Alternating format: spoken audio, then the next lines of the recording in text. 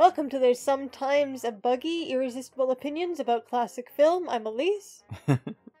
I'm Dave. This week we return to the Acteurist Oeuvre View. It's Lilli Palmer. We're getting into the latter half of the 1950s. We'll be discussing Teufel in Seide, The Devil in Silk, and La Vie à Deux, Life as a Couple. We did, unfortunately, fail to secure. Many, many films. There's like a big gap between these two films. Yeah, the ones that she made with Carlos Thompson. I either couldn't find them or I couldn't find them with subtitles and they're in German, so that doesn't help us, unfortunately, as we are not sufficiently versed in that language. We're not at all versed in it. We will be doing Mädchen in Uniform, Les Amants de Montparnasse. Those are coming up next, maybe on other lists. They appear slightly before La Vie à Deux. Rest assured, those have not fallen by the wayside, but several of the West German films definitely have, sadly. Maybe one day we'll get a chance to see them and we can reinsert them into the narrative of our podcast. Yeah, Between Time and Eternity looked really good, and I just couldn't find any way for us to watch it and understand it. Could have watched it, couldn't have understood it. We did have that one issue with our Ritwik Ghatak episode where the subtitles were Sporadic. so sporadic. The ar- the only discussion we were able to make of the film was our attempt to understand what was happening in it.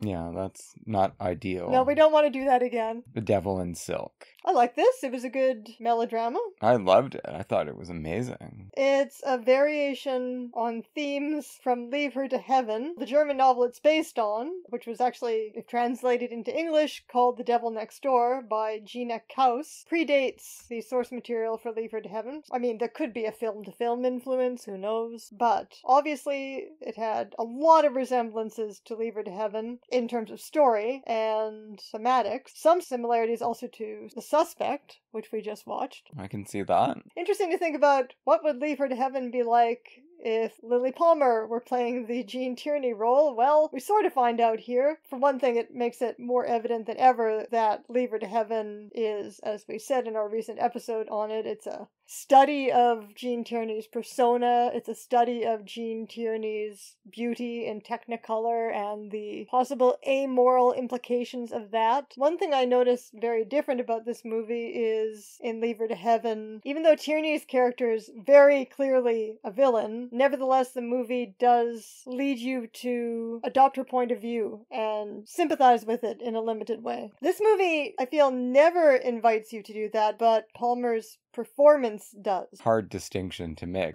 In Leave Her to Heaven, like we were saying, there are scenes where the viewer is invited to become as annoyed by the people around her as she is. There's no framing like that in this movie. I can see that. It's basically everyone against Lilli Palmer. She's certainly a paranoid character, but she's not wrong if she's thinking that her sister and her dad and everyone at the company that she owns, they're all against her, really. Well, now, this- maybe she's made it that way and it's a self fulfilling prophecy and it just gets worse and worse. It's a vicious circle. Yeah, but to me, there's such a discrepancy between the way she plays this character and the reactions of the people to her. Even more so, although that still exists in Leave Her to Heaven, but even more so than in Leave Her to Heaven, where it's this study of this abyss of Gene Tierney's face, like we were saying. Here, she's playing a character, and the character is a neurotic. No, She's suffering. But she doesn't have that kind of archetypal power of the Gene Tierney character in Leave It to Heaven,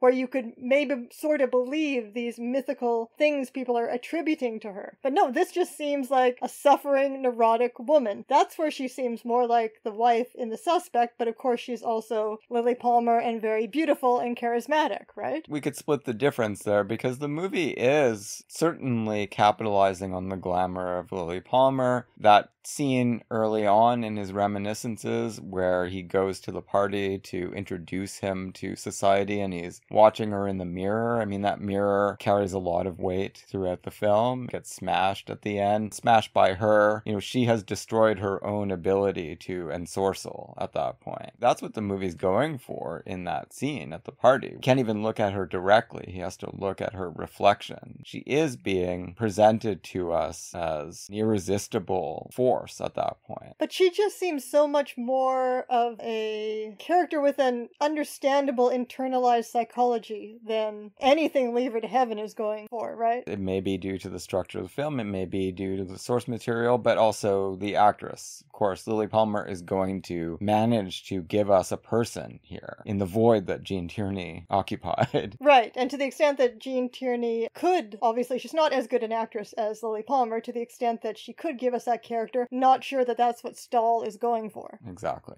So it worked out perfectly for that film, and I think in this film, I don't know the filmmaker. I do know Kurt Jurgens because he appeared in at least one movie I've seen, the Nicholas Ray Bitter Victory, which is a great movie. He was also in the remake of The Blue Angel, but I haven't seen that. Oh, right. No, I haven't seen that either. I think this movie, we both immediately thought of Leave Her to Heaven, of course. Interesting that the American film has heaven in the title, and this one we've got the devil.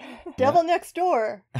we start with some real expressionist flourishes. Yeah, I think this stuff is really beautiful. I mean, Yeah. it's mostly in flashback, the film. There are a few present day sequences at the trial and just before and just after, but so much of it we're being shown through memories that are evoked and dreams. That first meeting between Jurgens and Winnie Markus, basically the Jeanne Crain figure in this film, she's not a sister. There's also a sister who's against Lilli Palmer in this one. Yeah. But there's a third person in this story. He meets her the same day that he meets Lilli Palmer. So there's all kinds of fateful stuff going on. You could see how dreams could get bound up with that, although the voice of Winnie Markus is always kind of telling him, You're over dramatizing here. This dream is simplifying a very complicated matter. And I guess maybe that's part of what dreams do sometimes. Well, if there's a simplification here, then the simplification is that him having this initial layer of anxious memory right after he's had this terrible showdown with his wife, believing that there was immediate love between him and Winnie Markus. And her voice is saying, no, that's not how it went at all. No.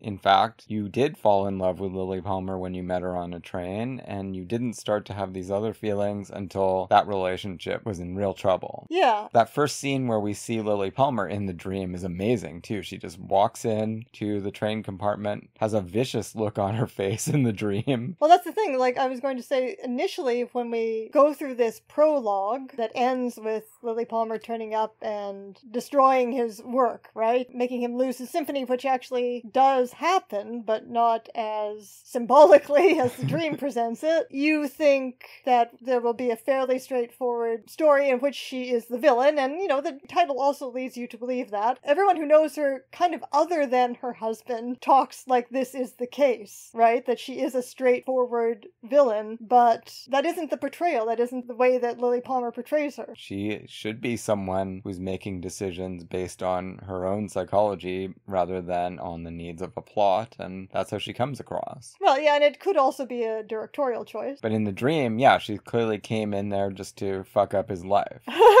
And that's how he sees it after the three years have elapsed and the roller coaster marriage has run its course. Now, we should talk a little bit about Lilli Palmer at this stage, because I think she is just now, and it's great. It's great seeing these European films where actresses in their 40s who are still beautiful are still being able to play glamorous love interest roles, right? Yeah. It's not something you practically ever see in Hollywood movies until plastic surgery got a lot better in recent years. I feel like she's really just coming into her own in film with these European films in terms of having a style of acting all her own. It's not it's obviously it's not a studio created persona, but a presence that's all her own. And we talked about it a little bit discussing fireworks the last time, but it's it's a it's a little bit it's gathering a little bit as early as the four poster, but she just has this I mean, I think it's something she's obviously developed through working in theater, and we surmise psychologically surviving her marriage with Rex Harrison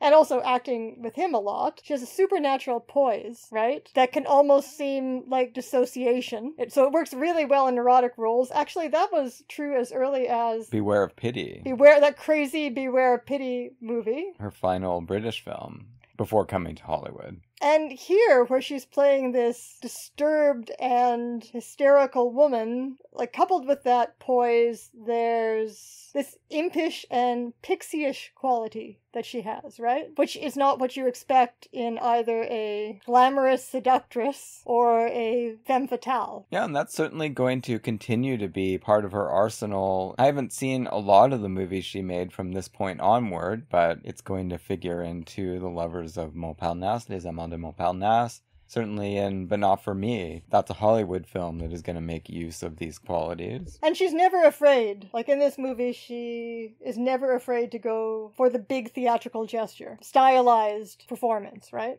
Mm, Not when it's called for. She's ready. We haven't really said anything about the story. We don't have any Leonard Maltin guide either to give us a blurb on it, so we'll spoil things right now. This is a story about a man who met two very important women on the same day, marries one of them, Lilli Palmer. Marries the wrong one, which is a very foreshortened version of what happens in Leave Her to Heaven, right? There's a much longer dance of him choosing to marry the wrong woman. The reasons that this was the wrong marriage for him come out over the course of his flashbacks and in other people's discussions of their marriage as well. She's a very rich and powerful woman. He is a practically penniless musician who's been surviving by playing piano in bars and giving music lessons. He had aspirations to be, you know, one of the great lights of European music, but it hasn't come to pass. So there's a difference, right? Because Well, we did talk in Leave Her to Heaven about how Gene Tierney's aggression and desire toward Cornel Wilde, and even her overall attempts to isolate and stifle him and take his work away from him, all of these things align her with a more masculine role. Part of the problem he's having with her.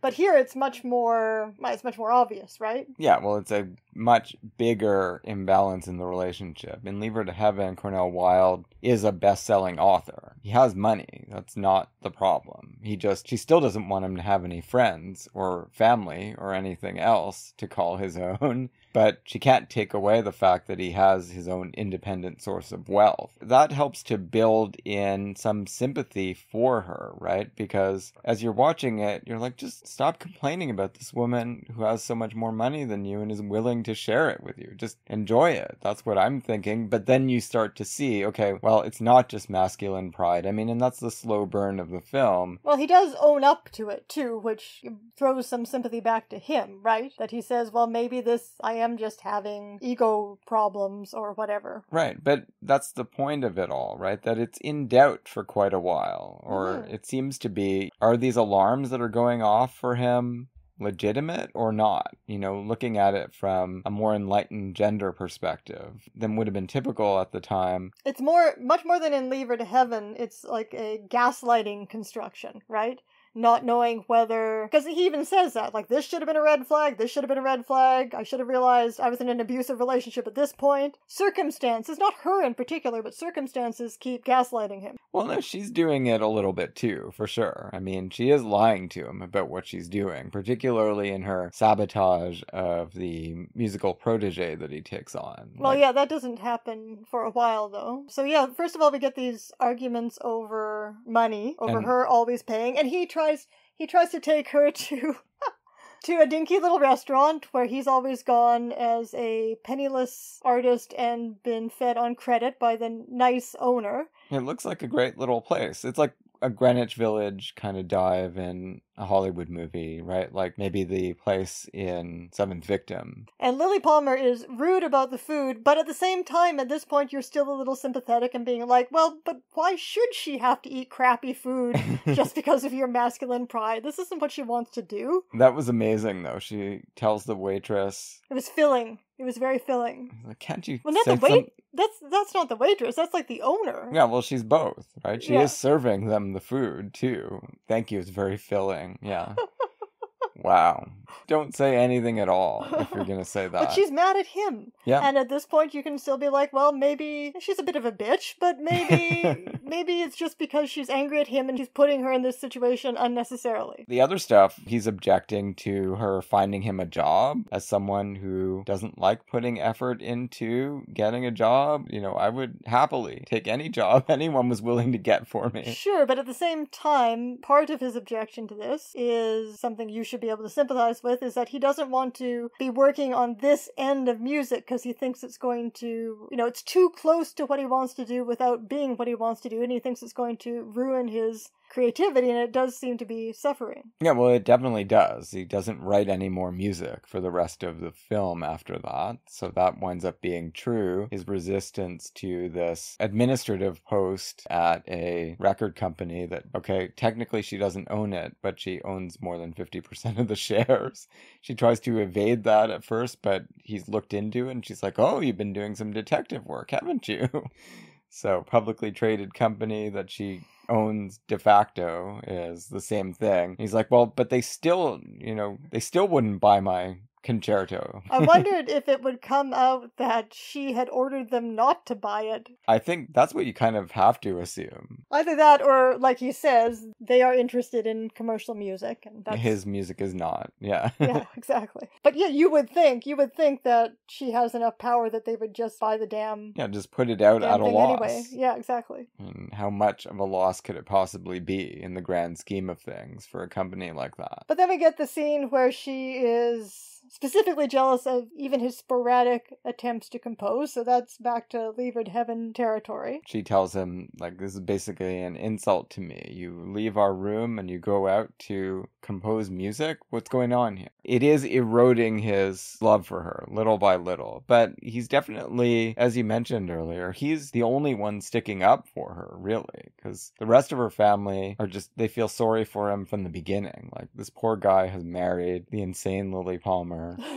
oh yeah, her lawyer is the only one other than him who stands up for her, and we're led to believe by the fact that he has a sexy portrait of her in his office that this is because he's in love with her. Well, no, it's not just that. He was engaged to her, or he thought he was. Right. And she threw him over. Well, that's exactly from Leave Her to Heaven. So Yeah. I, I don't understand. Was this plagiarism by the author of Leave Her to Heaven? By what was he doing? Plagiarizing a German novel? I seriously doubt Ben Ames Williams read any German novels. Well, then that's why I wonder if there's some movie to movie influence. It's really interesting to look at them side by side. You could possibly get a book out of it, analyzing all the different ways this narrative comes to the screen on either side of the Atlantic. And finally, while things are starting to go south in this way, I mean, this is after she has torpedoed his budding friendship with this young composer. Oh, but no, wait, no. We have to do the after the first party that she throws for him, where we see him looking in the mirror when he's still very much enchanted with her. At the end of that party, that's when her live-in maid collapses, and her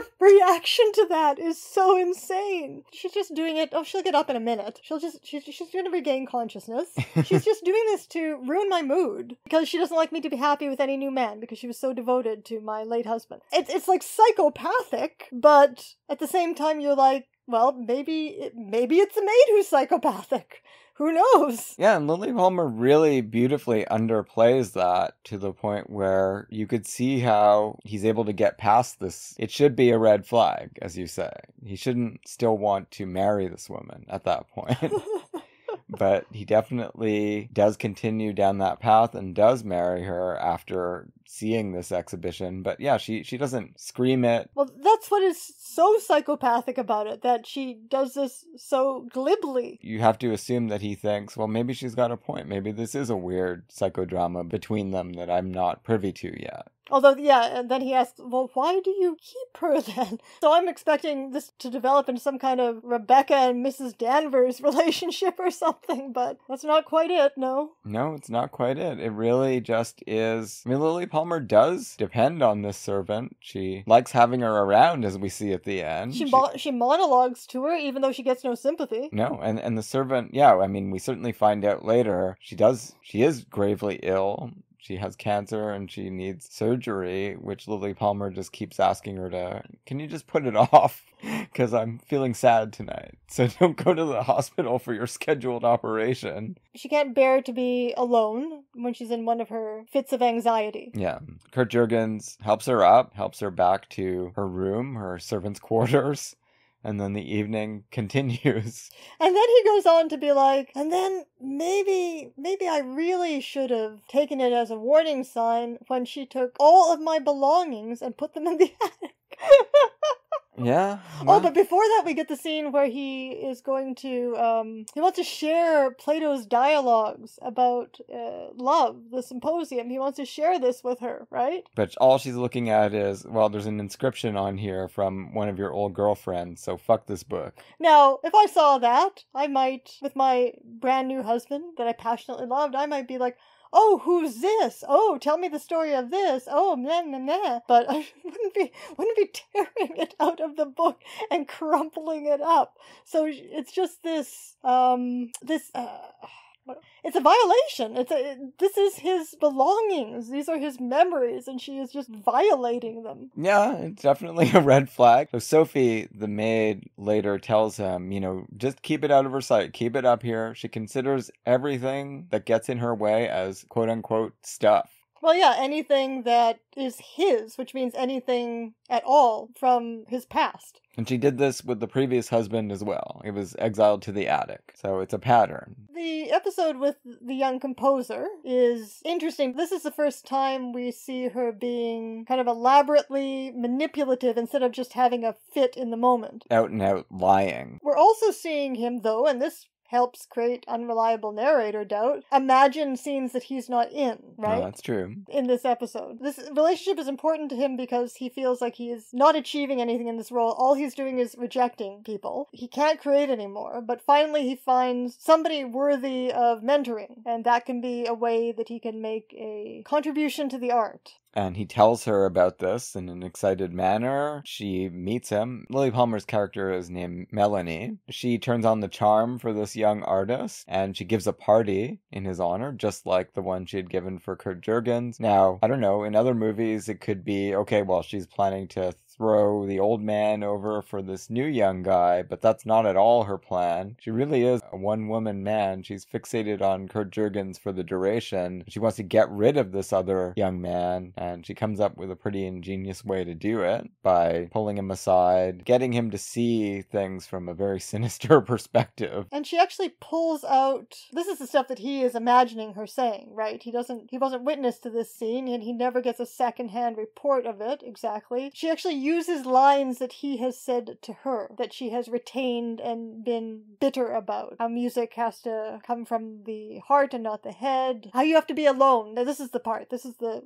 part that she's so bitter about. How you must be alone in order to hear your music. Is your work going to have any integrity if you let Kurt Jurgens edit it and shape it? And of course, the young musician starts to think about this. She's gotten so inside his head, and this was th- throwing me back to when I lived in an arts community and there was nothing going on except constant people getting inside of each other's heads and making you think your work was good or making you think your work was bad or making you question who you were collaborating with or trying to establish or break up collaborative relationships. It was just, yep, it was like this. Everybody was Lilli Palmer. Probably I was Lilli Palmer too. As you say, I mean, he is imagining this, so we don't know exactly how the real conversation went. But yeah, the way he pictures it, she is filling the young musician's mind with doubts about the motives operative behind the scenes in this mentorship. She's also flirting with this guy, attacking his mind in multiple ways. Whatever she did, the upshot is that the guy never communicates with Kurt Jurgens again.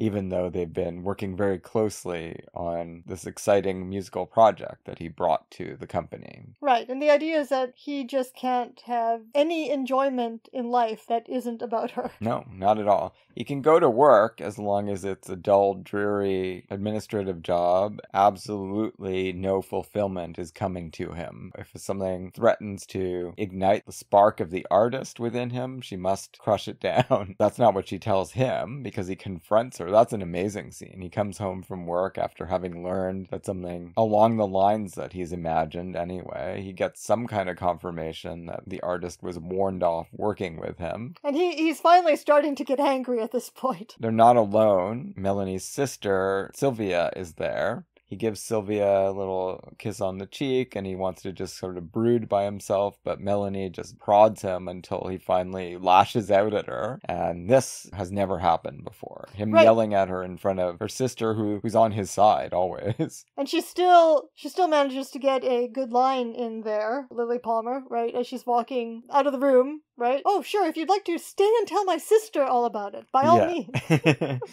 you guys can plot against me as So- you always are doing. Even at this point, the movie is still making you feel like, you know, maybe she has a point in some of the things that she's saying. And again, she's not like a Disney villain. I mean, she goes in the other room and always she's crying over there when she does that. And she's genuinely hurt and she's not just doing it performatively. She does some other things performatively, as we learn. But Yeah. she's not coldly calculating in her emotional response to these things. I mean, she falls apart when he turns on her like that. Yeah, so this is very different from Leave Her to Heaven, obviously. This neurotic side of her, right? Where she, and this is where you start to feel the discrepancy between the way other people are describing her and not just the performance, but the character, the way the character's written. Because this seems like a neurotic who needs help, right? And not like some mythical monster who's pressing everybody to death or some terrible egotist. I think the movie does get at that, right? Because while everyone else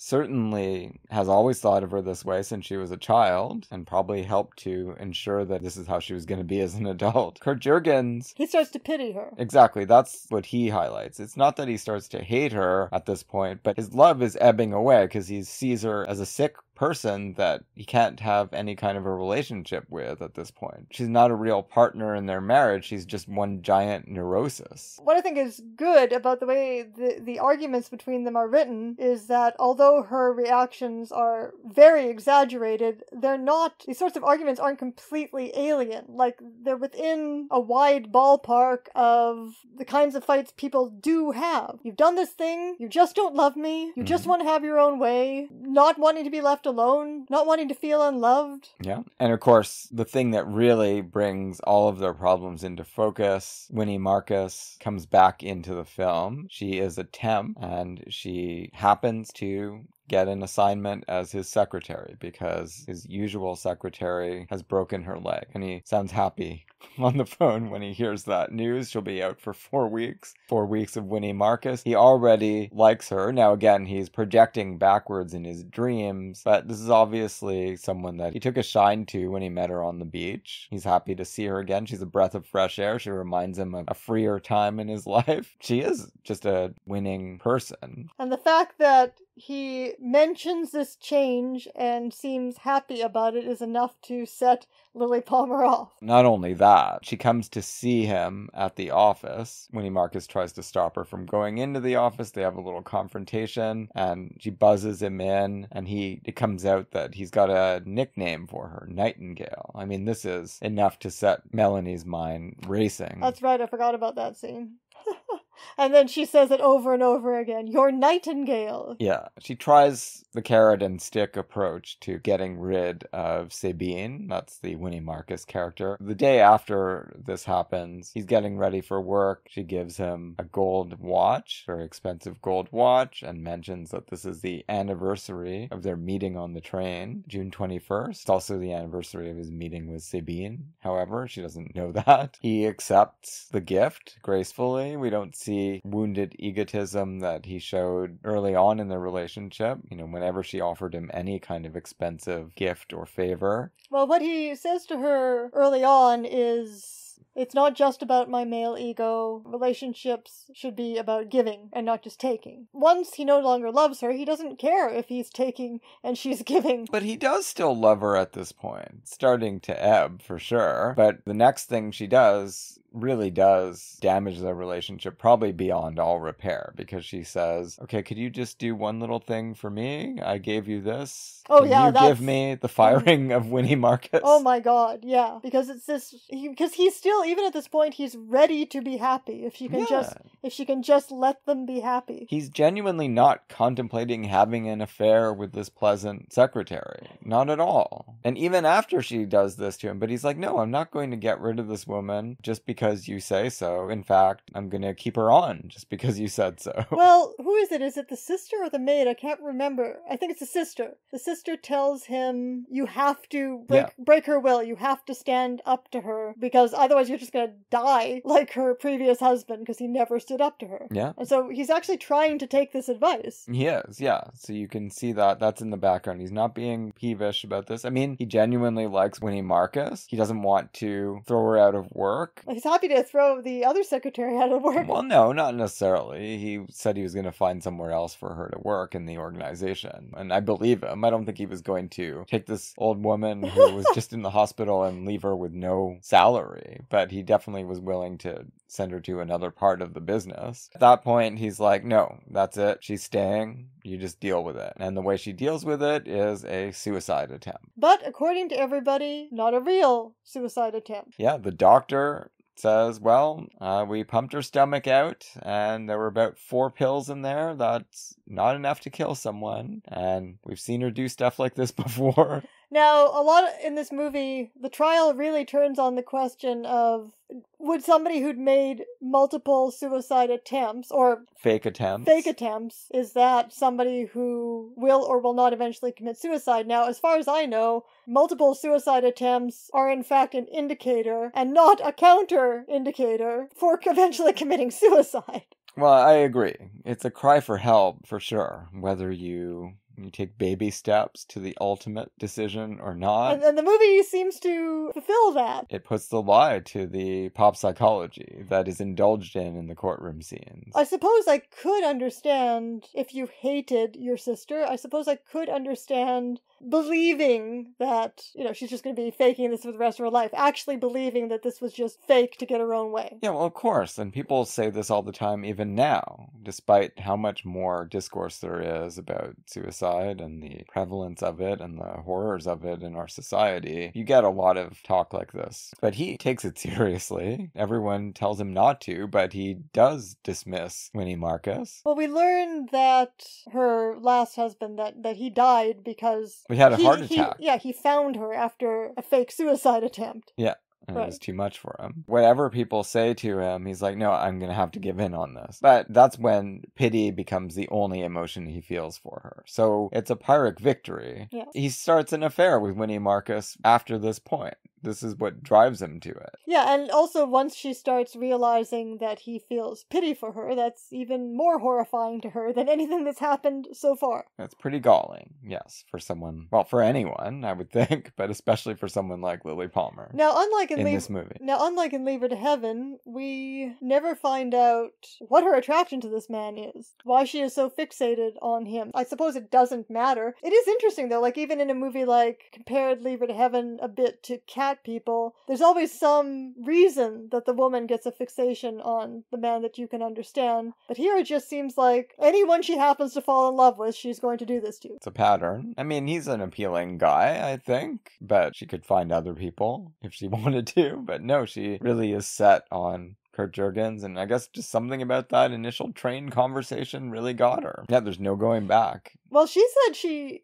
I don't know. I don't know if I can actually make anything thematic out of this, but she said it's because she made him lose part of his symphony, right? She says it's because she wanted to make that up to him. Well, sure, initially, but it had to be more than that. And she doesn't seem like someone who would care about that kind of thing most of the time, right? She certainly doesn't care how much she inconveniences poor Sophie or her family. Well, that's why I said I don't know if I can make anything thematic out of it. It's just not a question that the movie looks into at all. No, it just takes it for granted that these kinds of sparks can fly for whatever reason. So can sheets of music. Yes. And we do get a sense of the kind of life he's leading in his extramarital affair. It certainly seems a lot more fun and pleasant. They take little trips to the country. They meet up in their favorite cafe. They do spend time at her flat, which I find really cozy. Dangerous, obviously. If Lilli Palmer gets any sense of this going on, yeah, then you could start to picture it going the way of the suspect, and it actually does get to that point when she discovers the love letters between them. This is the inciting event for the death of Melanie. I was a little bit torn. I wasn't sure if it was going to ultimately reveal that it had been a murder somehow. I was thinking actually the sister might have murdered her. I mean, I think the movie gives you a little bit of a sense that that's possible. Or the maid. The maid well, the maid, yeah, it's explored. I mean, that's what Winnie immediately thinks. This is a woman that wouldn't let you go to get your cancer surgery. Maybe you just got fed up with this and killed her. Or maybe it would turn out to be the lawyer somehow. Right. Who knows? Because he was, yeah, I don't understand how that could be the case, but who knows? Plenty of suspects. My money was either she really did kill herself or her sister killed her. Really? Yeah. Yeah, I don't know. I was wondering about the maid because she's very much highlighted as a suspicious character early on. The scene of greatest pathos for me in the movie is her final scene with her maid, and I can't remember exactly what she says, but again, she's talking about how no one loves her and how alone she is. The way that Lilli Palmer plays that moment, it's not outward to the audience as I'm showing you a villain, I'm showing you this hysterical person who's trying to manipulate other people. She's showing, she really believes this. She authentically believes this. Of course. I mean, she has no other reason to try to keep Sophie at her apartment. And Sophie has no sympathy. This older maid figure, you know, the archetype is that this person in a story sh- should be giving sympathy to the young woman who relies on her, the younger woman, right? Uh, the mistress. And she gives her nothing. And that discrepancy actually gave me sympathy for Lilli Palmer, right? Even though you know she's begging her maid to forego Exactly. life saving cancer surgery. And is that just the casting? Would it be different with another actress? Yeah, I think so. I mean, it really works. It really is a feature of the film that it can still do this right at the end of the line for Lilli Palmer's character, where she's Because- going to make all this trouble for everyone. I mean, the analogous scene in Leave Her to Heaven is certainly not told this way. It's just Gene Tierney coldly deciding, okay, my next step here is kill myself and have all the fingers pointing to my sister, that bitch. Yeah. She doesn't make any desperate pleas for understanding or company to help her stave off this blackest of possible moods. Well, no, even when the attorney in the court scene describes what she must have ultimately done, I mean, there it's almost going too far when we see a flashback that fits his description of events. It's almost going too far in making her pathetic, right? Uh, but before that, there's that balanced moment of just your realization that this woman really feels these things and has made everyone around her so fed up that there is no one in the world that sympathizes with her. No, no, unfortunately not. As you say, this is a recreation for the jury and the judges of Melanie groping on the floor to find does she have enough pills left to actually kill herself. I mean, it's crazy. That's the classic melodrama trope. I, I actually put it in a play once. Oh, really? Groping for pills on the floor. Kurt Jurgens is partially responsible and he feels it. This is part of what's been weighing on his mind that he discovered once again, or he discovered definitive proof of her modus operandi with these suicide attempts. She'll take a pack of 12 and four in her glass, which is enough to knock her out and make her seem like she needs medical intervention, but not enough to kill her. And the other eight she'll just hide somewhere for later. And he finds them while he's looking for these letters because she has done something really horrible and threatened to bring legal action against Winnie Markus. Right, that's the suspect motive for murder. Right. Yeah, just ruin her life, bring everyone down. And instead, you know, the letters were gone, but he finds these other pills and he he's so furious that he puts the pills on the bedside table to show her, I know that you've never even been sincere about trying to kill yourself. But what he doesn't know, I mean, it is interesting. They bring this up at the end. The defense lawyer brings this up, and that's when he starts questioning it himself. Unconsciously, was he trying to push her toward actually killing herself? Yeah, and he doesn't know how to answer that because But- it's possible that, you know, he can't rule that out. It's also plausible, though, that he just really believes she's never going to do it. Yeah, of course he does. He he has to think that, right? That this is an unreasonable person who's doing unreasonable things. That's been the whole problem with our marriage. And at that point, he has made every concession that he's willing to make. And now he just, yeah, he wants to win with a gesture. And this is how he seizes upon doing it, exposing her. And the way that the situation resolves, like her trying to get her way, get her will, resolved with her other husband, is he just died, right? So there was no. It seems to be the only resolution to this for her is for somebody to die. Yeah. But this is the other thing I was thinking of, right? Talking about how Lilli Palmer's persona changes the meaning of this character because when all of these characters are talking about how this is really the issue here is her will, right? She wants to achieve her will and nothing can stand in its way. When the characters talk about Gene Tierney and Leave It to Heaven, the way that whole movie is constructed and the way her persona is used, which is her appearance and to some extent her ability to act on screen like a bit of a zombie, you believe that, right? You believe that this is about this woman's assertion of her will, as well as lots of other things that mitigate that that we talked about, right? Other social circumstances and psychological circumstances. But here you don't believe that of this character at all. At all. She's too, like I said, elfish and she's too fragile. Yeah, I agree. Pathologizing and showing us a person genuinely in distress at the center of this horrible dilemma while making it pretty easy to sympathize ultimately with everyone's desire to get away from her. Well, it's easy sympathize with him, but I don't find it as easy to sympathize with all these people who are just kind of preaching about her. Well, but we're not following Melanie the early years, right? Obviously, they've all been through similar things with her. Of course, but that doesn't mean the movie dramatizes it in a way that makes me sympathize with them. With the maid, you can you can see the maid's point. Yeah, definitely. The maid has not been treated very well by Melanie, despite the fact that, yeah, Melanie clearly doesn't believe that she has been a cruel mistress. She thinks that there's some kind of bond between them, but yeah. there isn't, as we find out. There really isn't. That scene where Winnie Markus goes to visit the maid in the hospital and sees her after the surgery is pretty amazing, actually. And, and she's, she's begging her, like, really hoping this woman turns out to be the murderer. Can't you just tell me that that's what happened? But no. Well, no, because she explains it and she's like, yes, I, I ha- I've had the, these thoughts, but that doesn't mean you're going to act on them. Yeah, there's a wide gap between having these thoughts and acting on them. Well, she says everyone on Earth would have killed everybody by now if uh, if there wasn't that abyss between thinking about killing someone and doing it. It's very nicely expressed.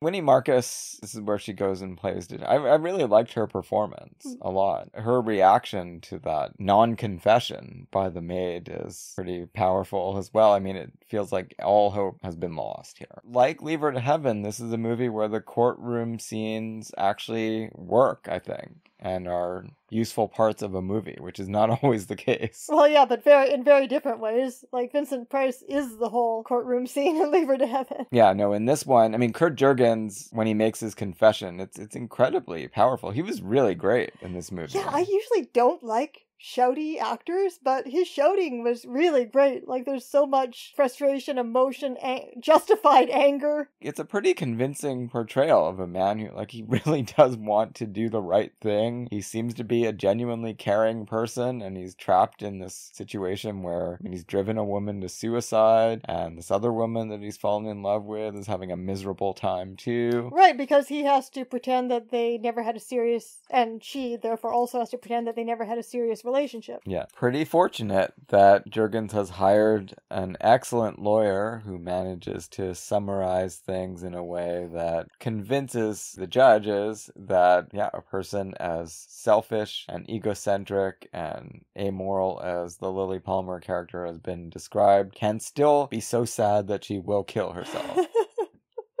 think it's very important too that this is a major deviation because in Leave Her to Heaven it's it's it's really just revenge. A final gambit to try to implicate everyone and burn the world down. in this case, no, it's just Melanie can't deal with life anymore. She can't go on living and puts an end to things. She has no thought of they're going to convict him for killing me. No. Well, that's why it's important to understand about the character that her greatest fears here are abandonment and uh, that no one will love her. Yeah, and And she has made it come true. she's absolutely correct that no one in the world cares about her at the end and she acts accordingly when she has ascertained that. I thought it was a truly great movie and I, I didn't know what to expect, but that was awesome. Yeah, and it makes so much good use of what Lilli Palmer can do. Everything from brittle charm to neurotic hysteria to this vulnerability that's also important to the character, right? Now, La Vie à Deux, well, this was quite a problematic film in a way, ultimately. So we're skipping ahead a couple of years. That we're back in France. This is an all star film. So Lilli Palmer has an important role in it, but only for, you know, the first third of the film, let's say. You looked into this. So the credits announce it as the final film of Sacha Guitry. So Sacha Guitry was a middlebrow French and very prolific French playwright. Wasn't he sort of like a Noel Coward of France? Well, much more prolific than Noel Coward. He did also act, yes. I was thinking more like, but still more prolific, but someone more like uh, we were talking about earlier in the Lilli Palmer series, Terence Rattigan, but even like much more of a force. His work was very popular. Yeah, in addition to writing, what did I see, over a hundred plays, he also made many movies as a writer director. Yeah. Clément Du- Duhour Yeah. is the director here and co-writer. He was a frequent collaborator of Guitry's. Uh, on his Wikipedia page here it says, after the end of the Second World War, Clément Duhour becomes Sacha Guitry's regular producer and collaborator through his production company, CLM, CLM, whose name is meant as a quasi-acronym of his first name. This association would prove fruitful in the 1950s with the production of a series of cinematographic masterpieces. So apparently these movies have a reputation. Well, we'll have to explore them one day, maybe. Yeah, maybe this should be a special subject. Like the cult classics Three Make a Pair, Lovers and Thieves, or If Paris Were Told to Us. So, am I correct in assuming that Guitry was dead by the time this movie was made, and this is kind of a tribute to him? I Yes. mean, that's how it seems. Yes. And Pierre Brasseur is playing a Guitry figure, and that sets in motion the plot. Just to give some numbers, he wrote 115 plays. wow. And Wikipedia says from the 1930s to the end of his life, he enthusiastically embraced the cinema, making as many as five films in a single year. Prolific, a prolific guy. Definitely. But yeah, so this is Boulevard Theater, middlebrow light theater, right? It's not experimental, it's not highbrow, it's not upper class. No, it's not new wave, that's for sure. Conservative theater. So yeah, Terence Rattigan seems like a good. But when we actually looked at Terence Rattigan, English Without Tears wasn't that conservative. No. So that was interesting. But this seems more like what it says on the tin. I mean, the cast is amazing. So obviously, people wanted to take part in this tribute to Sacha Guitry. I mean, you got Lilli Palmer, that's why we're here, but we also have Edwige Feuillère, we've got It's, it's Danielle Darrieux, we've got Pierre Brasseur playing the author. Well, yeah, like I said, he was a huge force in French theater and cinema, and I don't know, maybe the messy aspects of his writing, maybe he's a figure comparable to Dickens. I don't know because I don't read French and I'll never be able to read his plays, so who knows? Well, I guess I could read them, but I have not, so I don't know. I don't know how typical.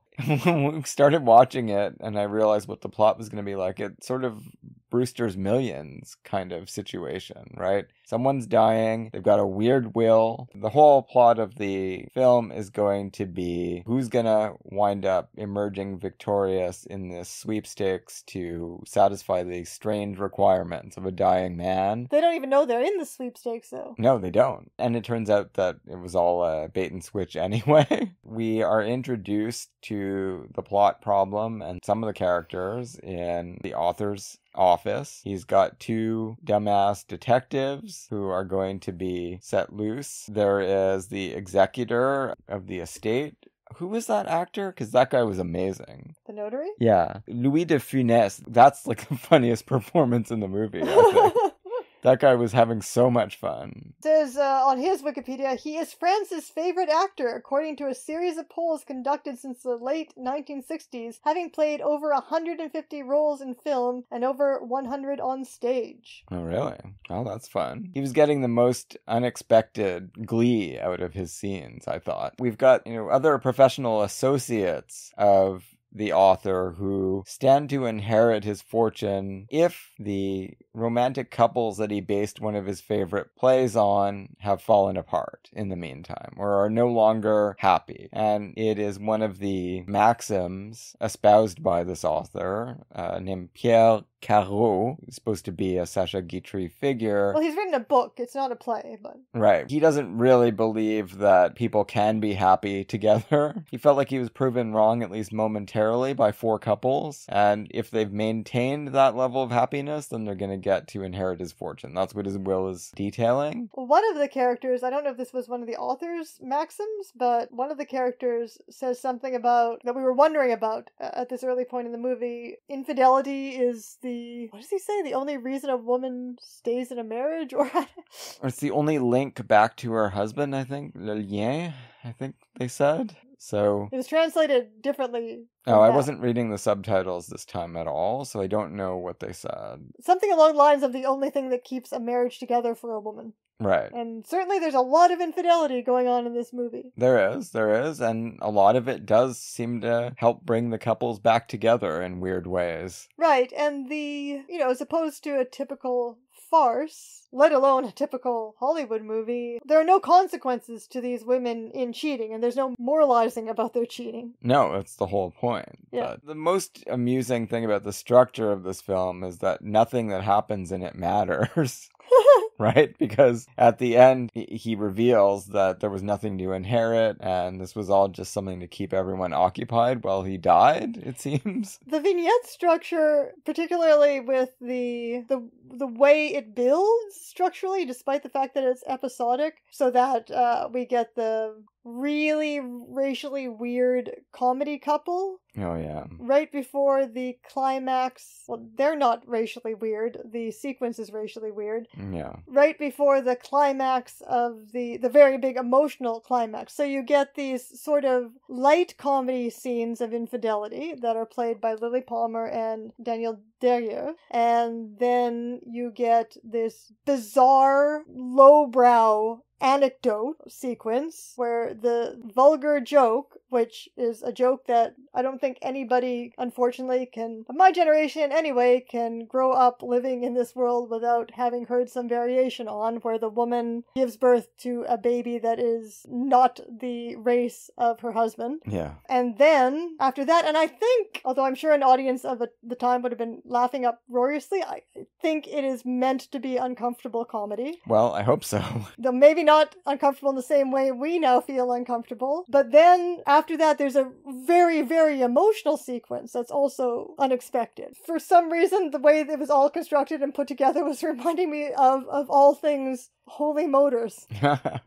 Okay, maybe. Who knows? This may be something that Carax has in his bag of tricks or in his bag of inspirations. I knew something still had to happen because we had not seen Edwige Feuillère yet, and she comes in right at the end yeah. as the ex-wife of Pierre Caro. And yeah, it is kind of a moving encounter between them at the end, and nothing else in the film has been moving. A lot of it had been funny in the first two sequences. The Caboufig couple, which is the third couple man, that was pretty fucked up. But yeah, let's go through them one by one, at least to some extent. And especially, so our first sequence, well, actually, there were four couples. One of them's disqualified right off the bat based on a vignette. So this is another trope or over, like the racial joke, this is another over familiar trope, obviously, which is hating your mother-in-law. Right. So we start with the comedy sequence, then we get we start with the low comedy sequence. Then we get two high sort of comedy sequences with the upper class characters. Then we get another and more uncomfortable low comedy sequence, and then we get the emotional climax, right? Yeah. So the Lilli Palmer sequence, she is the wife of a government official. Yeah, so this is our second, after the mother in law joke, this is our second sequence. Yeah. And this is one that actually has to be investigated by these two clownish detectives. And they are being interfered with by the two guys that are going to inherit the money if none of the couples turn out to be happy together at this point. What they're trying to do is unclear anyway. They're just, they seem to be trying to, so they lure the detectives away to Montignac, to another town. What are they trying to do exactly, though? Are they trying no to, they're just trying to gather more information, maybe so they can frame something up to make it look like they're not happy, but then they fall into the fact that oh well there really is something weird going on here with Lilli Palmer and her husband. So then they want to bring the guys back. So they shot themselves in the foot by sending the detectives to another town. I have to admit I was not paying very much attention to the framing device. Yeah ultimately that's good because it was all a misdirect. What these guys are trying to do you know they're just incompetent. Everyone's incompetent at the fringes of this movie. And Lilli Palmer her story is that she's a performer she gets to sing in French in this movie. And I'm, are you sure? I, that didn't sound like the same voice or like her voice. Well, it might not be. as You're right. Fireworks. This was sounded more like an operetta singer. More polished, yeah. Yeah, yeah. yeah. you you might be right. It might not really be her. But they have her character performing anyway. This is all part of a, a weird night for her where she gets a new valet who gradually it comes out he was dismissed from his previous position for having sex with his mistress, This you know, was his boss. This is really funny. Yeah. Her and Gerard Philipe, they worked uh, really well off of each Yeah, other. they don't, don't you think? Yeah, no, that was great. He presents himself. Everyone's all at Twitter. They love this guy. The uh, the other servants, they're getting the room ready for him. They can't imagine why he wouldn't be hired. Well, they also think he's good looking. Well, that's what I mean. Yeah.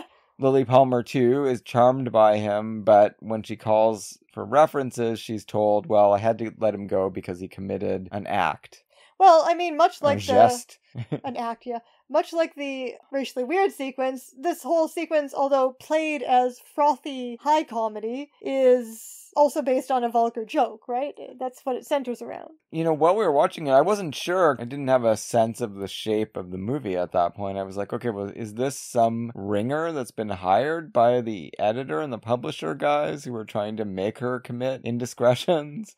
But No. no, it just it's just an accident that he comes along at this time. He just keeps at first he's like, "Okay, well, if you can't hire me based on my references, I guess that's good to know. I won't give this woman as a reference anymore." But then he won't let it go and he he barges back in on her and he says, "You know, can you please tell me exactly what she said because this is all too vague and I'm being torpedoed without knowing what my accuser is saying." She says, "Well, she didn't really say anything definite and we saw the conversation and that's true, right? When we first watched it, I was like, what was what was told to her there? Why is she but yeah, that's the point. She wasn't told, and she just assumes it was theft. This is the geste that he committed. And of course, he can't actually explain what happened without sort of sexually harassing this new would be employer. But he's like, well, now I know that I just can't, no matter what happens, I can't have sex with my boss. Even if she seduced me. Well, yeah, she called me to her bedroom in the middle of the night and she pretended that her sash was broken or whatever. So he's basically saying, you know, now I know, even if you try that on me, I won't do it. So we won't have this embarrassment to deal with later. So isn't that a good thing? You know, you could get drunk around me and maybe throw yourself at me and I'm not going to take the bait. And she's been very aroused by this whole conversation, even though he tells her at the end that she's not his type and that's also to the good. It turns out that she it's, it doesn't have anything to do with her wanting to be faithful to her husband, but I guess she just doesn't want to get involved with a servant. No, she's so horned up by all of this that she goes out and plans an affair with a magician, played by Jean Marais. You know, she manages that with no trouble at all. Right, and this is another tour de force sequence that shows her particular qualities as an actress and as a comedian because the way that she just uh, this character orchestrates this assignation right inviting jean marais over and he thinks he's going to be giving a big performance at a party and then he finds out oh no it's just just you and me is it and he quickly gets the picture but she just takes all of this in stride with aplomb right this seduction that she's undertaking. and then to actually get her to sleep with him, he has to do some seducing of his own. So he starts in in the heat of the moment. They both get caught up in this romantic future, traveling the world that he's planning for them. Right? yeah, he talks about you know, we'll go to London, we'll go to Edinburgh, we'll go to Norway, and don't worry, even though it's March, it's the cold countries where you're going to be warm in the winter. Then we'll go to Cairo. It's all going to be very exciting. And we think that this is all like the way that she's planned this, this one night stand with this magician, that it's cheap and tawdry sex. But of course, this is a French movie, and you don't have cheap and tawdry sex in a French movie. You have the art of love, don't you? Right? Yeah. Even when it's just sex. And so the next morning, he's ta- he's still talking to her about uh, how they're going to leave right away, but she's like, "Oh, you don't sound like you did last night."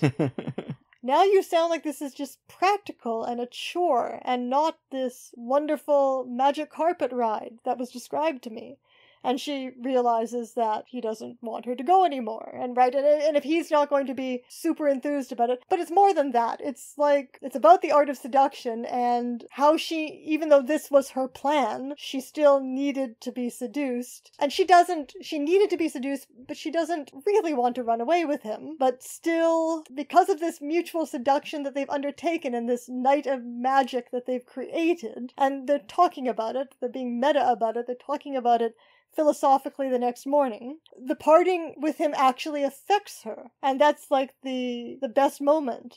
You know the crowning moment of the whole thing when her husband comes home and i don't even know how she explains that he's there. He came to see her because he felt bad that you know the performance had to be canceled the night before and yeah and she, the husband somehow just accepts this but then he says to her oh, and then she starts crying and he says oh is this is this because i left in a huff? Well look i, I came back yeah. And so we are sharing this moment of vulnerability with her, allowing herself to be moved by the romantic experience of this one night stand. You know, it's, it's all it's all very now I'm starting to get why Sacha Guitry is actually a great writer because it's all very complex, isn't yeah, it? Yeah. Well this was the best sequence in the film. And it doesn't end there because then you've got the valet, Desiree, which is a male oh, name. Oh right. With no E at the end, right? Usually you see Desiree with E and er, so it's a female name. But yeah, this guy is just named Desiree, and he's having dreams and talking in his sleep about having sex with Lilli Palmer, and apparently she's doing the same thing. Right, and her husband again is is just like He's very understanding. Yep, oh we can't control our dreams. and they both resolve to not sleep in their rooms that night because they're embarrassed by this and they don't want to be overheard grunting about having sex with the other. And they meet up unexpectedly on couches in the living room. And then they're discovered by these comedy detectives who we later find out don't matter. but And of course, nothing other than the racially weird sequence, none of these episodes are actually about the relationships between the husband and wife. no, not really, except that the husbands are all very understanding and you can see why because they're all totally out of their leagues with these women. Uh, yeah, I think they're also sleeping around. Well, not Yeah. although you know there could be a double standard for that, but Well, we certainly know that about the Cabufigs, the last uh, couple. In the other cases, it's not so clear, but it's certainly possible that the minister. not although- not the last couple, the racially weird couple. Yeah, that is the last couple. No, there's the Edwige Feuillère. Okay, well, yeah, but I'm not thinking about them. Oh, okay. They're not part of this initial group of Mm, happy all right. Sure. But yeah, that's where we leave Lilli Palmer and her new valet, and we don't know what's going to happen later on. Or maybe we do know. is her husband going to keep being understanding about all of this, or is there going to be a limit at some point? We have no idea. I don't think we ever got a sequel, so we don't know. The next sequence is Danielle Darrieux, and she is semi involved for three months with a guy that wants her to become his mistress or wants her to cheat on her husband with him, but he never comes out and asks her to do that. So they have quite a lot of banter about this. Yeah, she's playing cards with her husband and some other people. I think they're playing. He pokes his head out from behind a curtain and is like, "Psst, I mean, everyone's watching, and she goes into the other room with him, and they have this long conversation about how it's inevitable that she's going to give in and embark upon an adulterous affair with him. She says, No, I think you're wrong about that. He explains his reasoning, which is that, you know, no woman would encourage a man the way you have or accept the attentions of a man the way you have unless they're eventually going to give in. And she's like, Well, I disagree. I haven't been doing that. No, she says I've been giving in just because it's it's easier. But she says, you know, I have not encouraged you to love me. He says, well, you you have, you know, kissed me at least once. And she's like, oh yeah, that time in the car. He's like, well, I just wanted to see how far you would go. It turns out that he went from Rue Royale to the Champs Elysees. I mean, obviously, the idea is that they are doing a verbal dance, and Yeah. in fact, she has been encouraging him. Her objection to his method of seduction is that he has never, he's been predicting that she will give in to him without actually offering himself to her, really. And that's what she says has been the problem all along. She was willing to have an affair with him if he had just actually said, Do you want to have an affair with me? And he never did. Right, and now he does, and then she says, "Oh, it's too late." Yeah, I've already made up my mind now. You've been annoying about this for three months and it's over. And then he's like, when people talk to me like this, I get pretty out of sorts. I might go out of my mind. I don't know what I'm going to do. And she's like, well, what do you usually do? And he's like, well, I, I slap people. and she's like, oh, really? You slap people? Are you going to slap me? And then he does. So this is actually quite artfully constructed because they've been flirting. She's annoyed by him. She's decided, no, I'm I'm not going to go to you now. Also, we're talking about it in a much too logical a way. If you're just going to talk to me logically, I needed you to declare yourself, but if you're just going we're going to do this in such a logical, mechanical way, and it's going to end with you going, Oh, so you are interested in me, okay, come to my room tomorrow? No, that's not gonna happen. But then it's the slap. He slaps her, and then there's this. Obviously, she wants to slap him back, but she can't because her husband comes in. There's this whole absurd, lengthy sequence with the husband trying to intervene between them. And it's the waiting she has to do and the subterfuge she has to use in order to slap him back is what gets them so horned up that by the end of the sequence, she agrees. Yeah, the husband is instrumental in all of that as well. He plays his part. He wants to get to the bottom of all of this. He just assumes that the slop had gone the other way. Right. But he has some very strange ideas about how to take care of your wife slapping your acquaintance because he's been forward with her. well, he says, you know, this reassures me because we've all been wondering if she was having an affair with you for the past two weeks or more. Uh, but since she slapped you, I think that's conclusive proof that it never happened. And he does say, you know, you marry a beautiful woman. You don't do it to be at peace. That was the uh, English translation. Yeah, yeah, I think that's basically what he says. Yeah, I mean, you know, you're in for some excitement when you do that. this is the kind of excitement you can expect. Now you you insulted her a little bit, let's be honest, but you know, was it worthy of being slapped? Let's figure this out. And when the prospective lover says, I think we can all agree that I would not have lunged at her and tried to kiss her while her husband was in the other room. That would be stupid. So she overreacted and slapped me when she didn't need to. I was just talking. And then it looks for the longest time that she's gonna get another slap. Yeah. And the husband is like, oh, well, now this is a problem. Our side, we overreacted. Our couple. Now, does that mean we're going to have to have a duel or slap each other, punch each other? But no, l'amant, the lover, wants to slap her. You know, the husband agrees. You- This is probably the, for the best. Don't hit her hard, but okay, you can do it. Yeah, and we're definitely set up to feel like this woman's gonna get another slap, and Yeah. that this there's something faintly wrong about that. Yeah. But then she seizes the moment. The husband's not looking, and she gets in a good whack. And he's like, "Oh, that was too hard."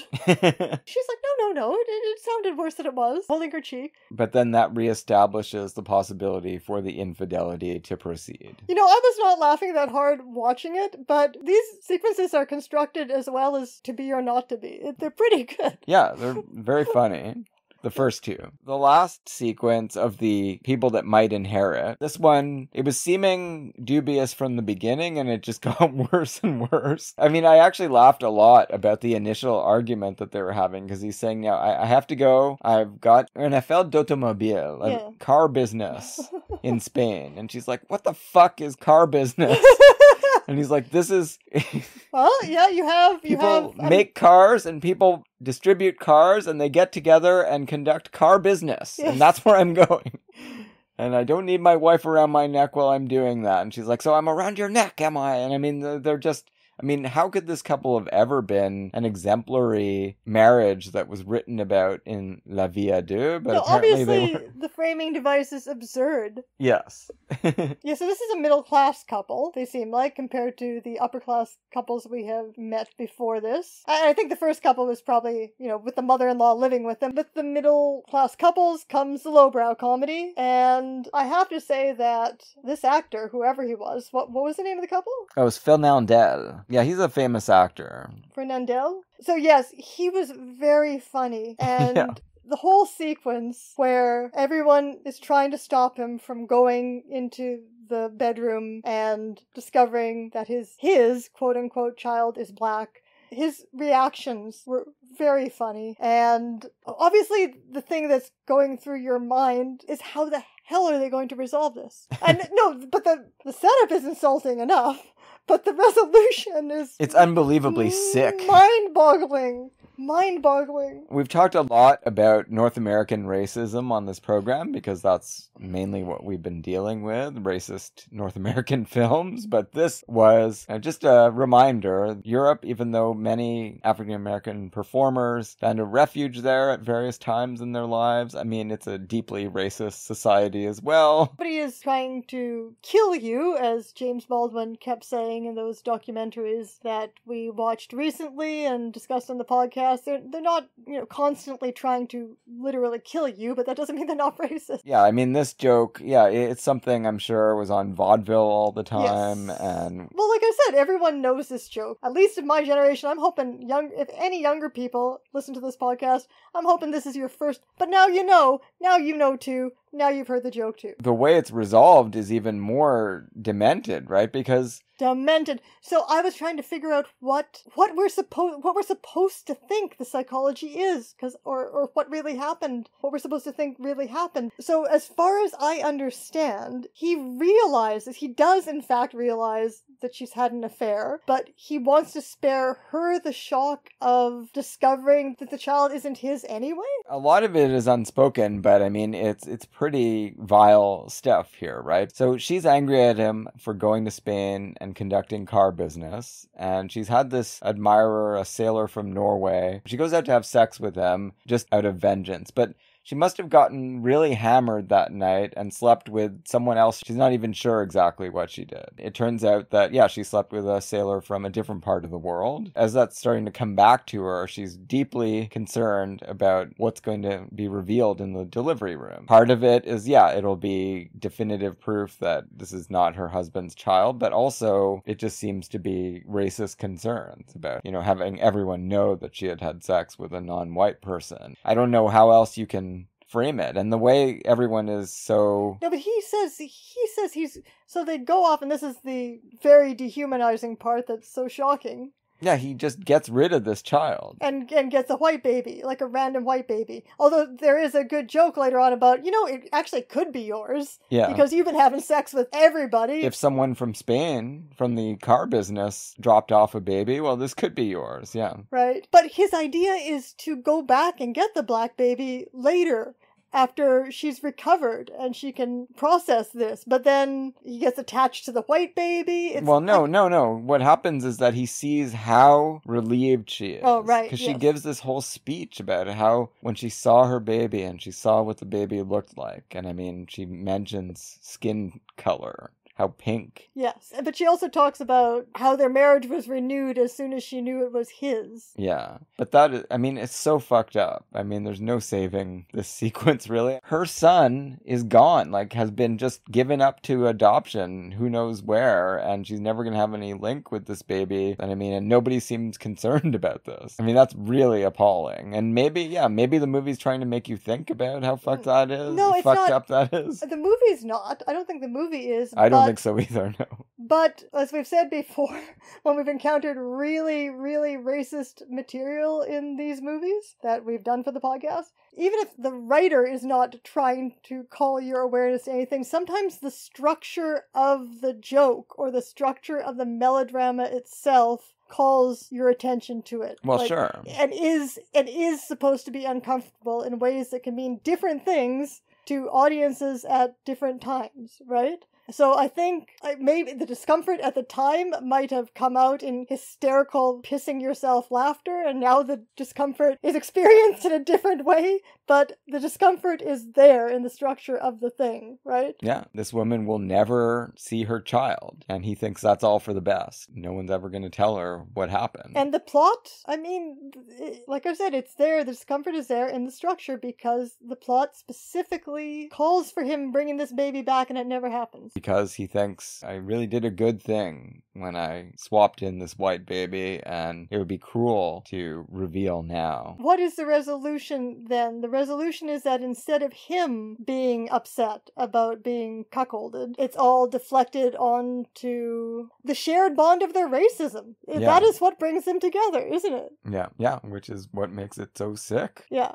And it's not even overt racism. Like the the sequence is trying like there's a whole discussion about the baby and how the baby No, the is- baby's great. the baby's great, the baby's fantastic. Yeah, it's just it's just not quite what you ordered, yeah, right? yeah. It's fascinating anyway. It is, it is. I, I was certainly not expecting to have to deal with that. Why wouldn't you in a Boulevardier play from a writer of the early 20th century in France? Yeah, you're right. It's just a reminder. And then the film concludes with a, you know, a moving sequence between Edwige Feuillère. And Pierre Brasseur. Very, very moving. This author who's been masterminding all of the foolishness that occurred for the first, you know, 85% of the movie is now on his deathbed, sends word out that he he needs to see his ex-wife before he dies. And she is happily remarried or she thinks she is happily remarried to this other guy. This other guy, it transpires, was his friend and betrayed him by running off with his wife. Yeah, he obviously committed indiscretions to make her want to do that. I mean, I think that's pretty clearly indicated. She had reasons for wanting out of the marriage. But now, to his credit, the second husband does, although at first he doesn't even want to tell her about this, he finally does relay the message and she says she has to go to see him. He, but he knows that there is still a love bond between these two, so he permits only an hour. Right. And she can't, obviously, because of those feelings and because this man is dying, she can't